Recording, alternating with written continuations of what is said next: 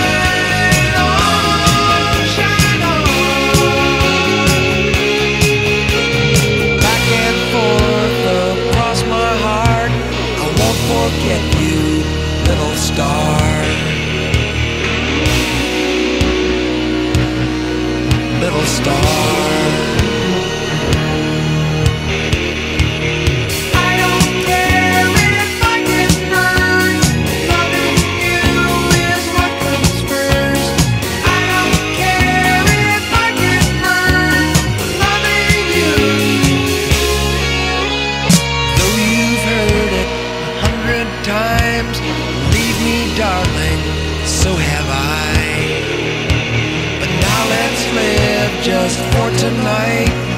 Let tomorrow take its time.